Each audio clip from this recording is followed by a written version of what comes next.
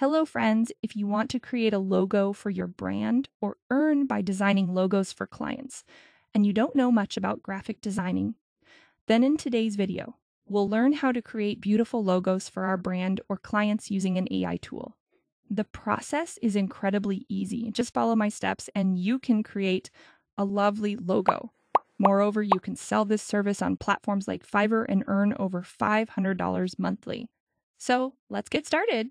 First, open your web browser, type ideogram, and press the enter key. Open the first link.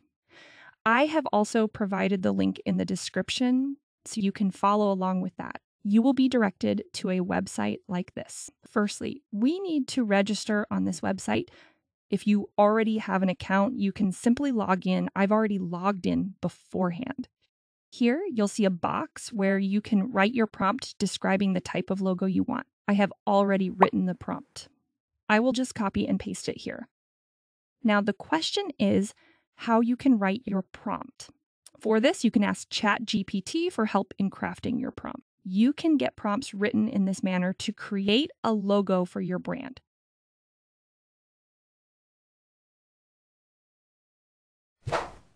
After writing the prompt, you can set the image ratio here to generate the image in the desired ratio. After that, click on the Generates button. After a short processing time, four versions of your logo will be generated. Here you can see how beautifully and creatively the logos have been generated. The better the prompt you write, the more impressive logos you'll get. And from here, you can select the version that you like the most. After that, click on the download icon to download the logo. This logo is in raster format. If you want to use it in this way, you can. Otherwise, you can also convert it to vector format. To convert it to vector, open Vectorizer AI, or you can use any other AI tool that specializes in converting images to vector format. Upload this image.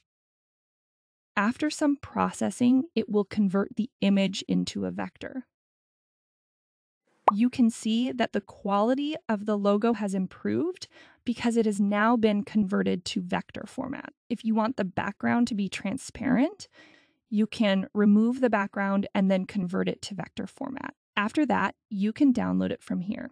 Congratulations!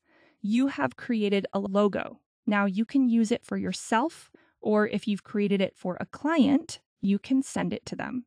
If you like this video, please give it a thumbs up share it with your friends, and subscribe to the channel. See you in the next video. Thank you.